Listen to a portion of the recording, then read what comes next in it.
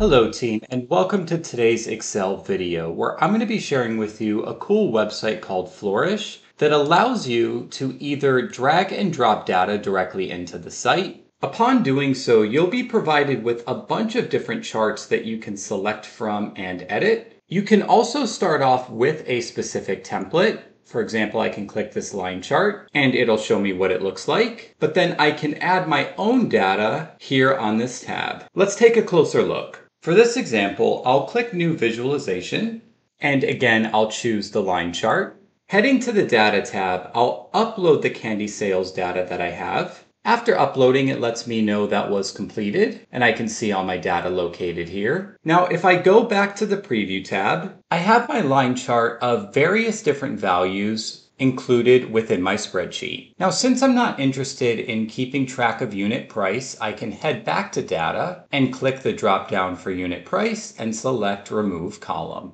Heading back to the preview tab, you'll see that was updated for me. You'll see even after creating the chart, I could change the chart type if I'd like. So I can select an area chart and that'll be updated on screen. There's a variety of other options as well. So for example, I could choose from different palette colors, such as these purples here. And up in the top left-hand corner, I can even change the view to see what this would look like on a mobile phone. When I have the view I like, you can go to export and publish, and here you can download an image of the chart. You can also upload this directly to Canva if you have a profile there. Back on the home screen, if I head back to inserting my data first, I can drag and drop that again. And again, I'm provided with a variety of different charts. And on the left-hand side, I can remove any of the columns that I'm not interested in seeing in this data set. Once you've found a chart you'd like, you can select Create, and then again, make adjustments to the chart as needed. So team, please check out this free site